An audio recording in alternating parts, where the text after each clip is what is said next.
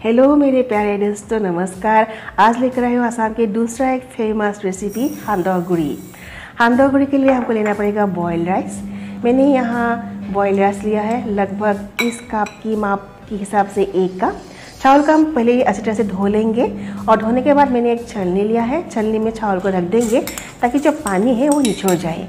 याद रहे, चावल में पानी रखना नहीं है, क्योंकि हमें इस चावल का ना पाउडर बनाना है। अगर आपके वहाँ धूप में सुखाने का आसान है मतलब आप सुखा सकते हो तो आप सुखा सकते हैं, लेकिन यहाँ अभी मैं जहाँ हूँ ना, उड़ीसा में इतनी गर्मी है कि रूम के अंदर ही ना ये चावल 10 टू 15 मिनट 10 टू 15 मिनट्स के अंदर ही बिल्कुल सूख जाएगा, मुझे पक्का यकीन है। तो छोड़ देते चावल को। 15 मिनट्स के बाद मैं देखने के लिए चावल का पानी है या नहीं है तो बिल्कुल ऊपर से तो सूखा लग रहा है, फिर भी देख लेते हैं अंदर कहीं है क्या। बिल्कुल नहीं, ये चावल बिल्कुल ही सूख चुका है। तो अभी क्या करना है? चावल को हमको एक कढ़ाई में रोस्ट करना है।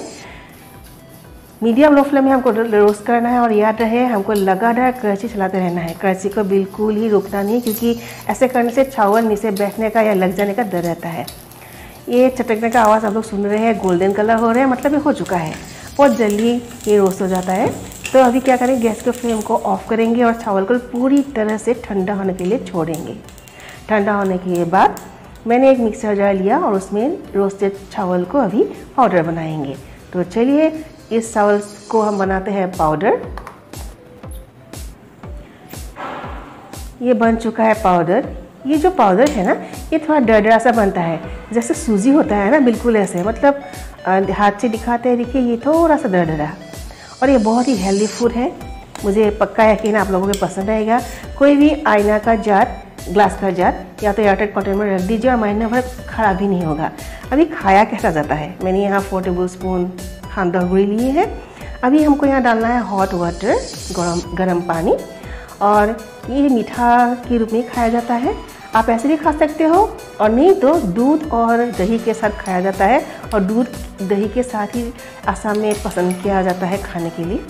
अभी सारे पाउडर को हम जो हॉट पानी हॉट वाटर मिक्स किया था ना, उसके साथ अच्छी तरह से मिक्स करेंगे। देखिए, बिल्कुल ऐसा हमको मिक्स करना है। गुड़, चीनी या हानी किसी के साथ आप खा सकते हैं। मुझे दही के साथ पसंद है और जुलिया मिठाई के साथ। तो मैं यहाँ ले रही हूँ दही और ये मैं अपनी ब्रेकफास्ट के लिए बना रही हूँ। और यहाँ लेंगे मैं जुलिया मिठाई।